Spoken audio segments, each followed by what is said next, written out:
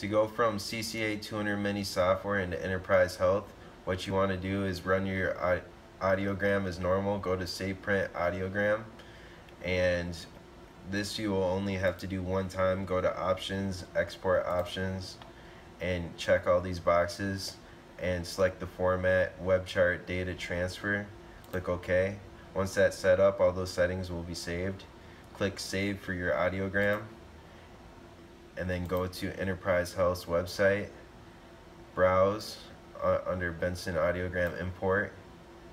and you'll see the unique export that it will automatically have exported after you, save the audiogram select it click open and upload there it shows that it successfully uploaded and you click this ID number to see the results of your test. You can compare that with the results within CCA software to make sure that they're the same.